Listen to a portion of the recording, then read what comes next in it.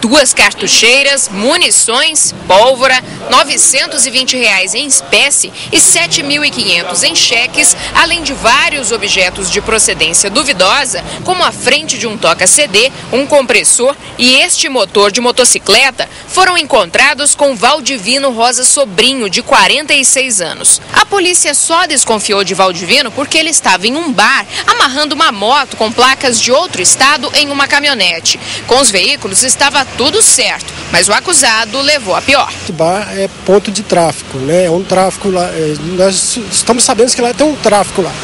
E a moto que estava amarrando em uma caminhonetezinha era do Mato Grosso. E aí nós fomos abordar a moto, a moto não tinha nada, mas o cidadão já estava com o mandato de prisão. Agora ele retorna para a cadeia.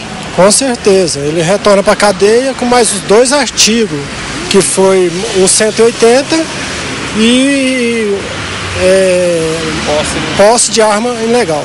O dono do motor teve a moto roubada há três anos e se surpreendeu. Não tinha ideia de encontrar isso mais não, né? Como que foi esse assalto? Ele colocou uma arma em mim, fez com que eu deitasse, colocou o pé em cima e foi pegando o dinheiro dos caixas, dos cartões, tudo que tinha no supermercado ali, na panificadora e pediu o documento da moto, não tinha, tinha meteu a mão no meu bolso, da minha carteira com documentação todinha levou também.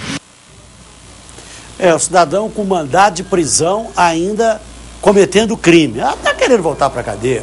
Ah, gostou daquela gororoba, não tenha dúvida, gostou daquela gororoba. Com mandado de prisão, sabendo disso e andando errado, é vontade de voltar.